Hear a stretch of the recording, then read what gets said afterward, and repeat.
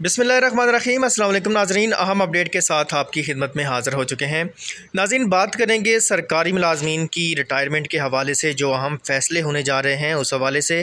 اور اس کے علاوہ جو صوبائی گورنمنٹ کی جانب سے تنخواہوں میں اضافے کا فیصلہ کیا گیا ہے، اس کے حوالے سے بھی ایک اہم اپڈیٹ ہے۔ تو ویڈیو کو مکمل دیکھیے گا تاکہ مکمل انفارمیشن آپ تک پہنچ سکے۔ تو سب سے پہلے سٹارٹ کرتے ہیں، ایک اہم فیصلہ سامنے آیا۔ وفاقی گورنمنٹ کی جانب سے یہ جو ہے وہ تجاویز سامنے آ رہی ہیں۔ کہ ریٹائرمنٹ کی عمر میں جو ہے وہ اضافہ کر دیا جائے تاکہ جو پینشن کا بوجھ ہے، اس کو وقتی طور پر جو ہے وہ کم کیا جا سکے۔ آئی ایم ایف کے ساتھ جو مذاکرات ہونے والے ہیں، ان میں بھی یہ چیز جو ہے وہ سامنے رکھی جائے گی کہ پینشن اصلاحات جو ہے وہ کی جائیں گی۔ وہ جو اصلاحات ہیں، ان میں بھی وہ جو ہے وہ کافی سارا جو ہے وہ مسائل جو ہیں وہ سامنے آ رہے ہیں سرکاری ملازمین کے حوالے سے۔ اس پر بھی بات کریں گے، لیکن آج کا جو ٹاپک ہے وہ ہے ریٹائرمنٹ کی عمر جو ہے وہ پینسٹھ سال کرنے کی تجاویز جو ہیں وہ باقاعدہ طور پر جو ہے وہ زیر غور آ چکی ہیں۔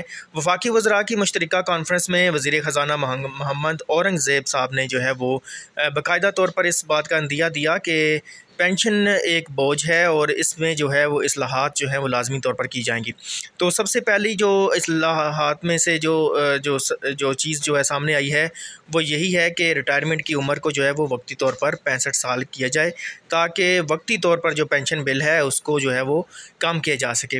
ہوتا کچھ اس طریقے سے ہے کہ جیسے ہی سرکاری ملازمین ساٹھ سال کی عمر کو پہنچتے ہیں تو ان کو جو ہے وہ ریٹائرمنٹ پہ جانا ہوتا ہے۔ تو پھر ایک بڑا پینشن بل جو ہے وہ سامنے آتا ہے۔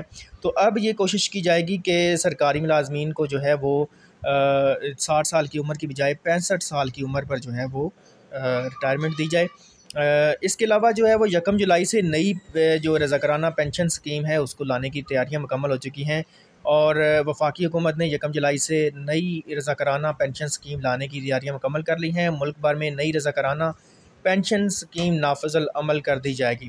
جبکہ جو پرانے سرکاری ملازمین ہیں، ان کو جو ہے وہ پرانے پینشن سسٹم کے تحت ہی رکھا جائے گا۔ البتہ یہ چیز تجاویز بھی سامنے آ رہی ہیں کہ جو پرانے ملازمین ہیں، ان کو بھی یہ آپشن دیا جائے گا کہ وہ اگر رضاکرانہ پینشن سکیم میں آنا چاہتے ہیں تو وہ بھی اس کو ایکسیپٹ کر سکتے ہیں۔ لیکن ابھی جو ہے وہ فی الحال نئی جو رضاکرانہ پینشن سکیم ہے، اس کے تحت جو ہے وہ نئے بھرتی ہونے والے ملازمین اس کے انڈر آئیں گے۔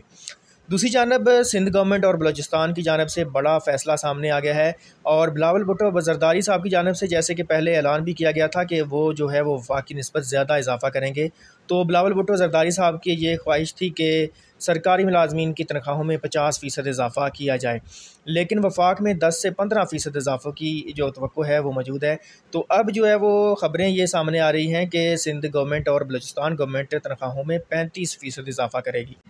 اس کے علاوہ کم سے کم اجرت کے حوالے سے بھی جو ہے وہ سندھ گورنمنٹ اور بلوچستان گورنمنٹ یعنی کہ پیپلز پارٹی کی جانب سے یہ سوچا جا رہا ہے کہ کم از کم جو اجرت ہے کم سے کم تنخواہ جو ہے اس میں بھی اضافہ کیا جائے۔ البتہ یہ بات سامنے نہیں آئی کہ اب کم سے کم تنخواہوں میں کتنا اضافہ کیا جاتا ہے۔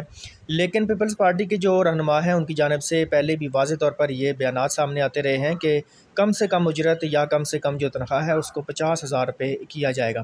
تو ناظرین، یہ تھی آج کی اپڈیٹ۔ امید ہے کہ آپ کو یہ اپڈیٹ پسند آئی ہوگی۔ اللہ حافظ۔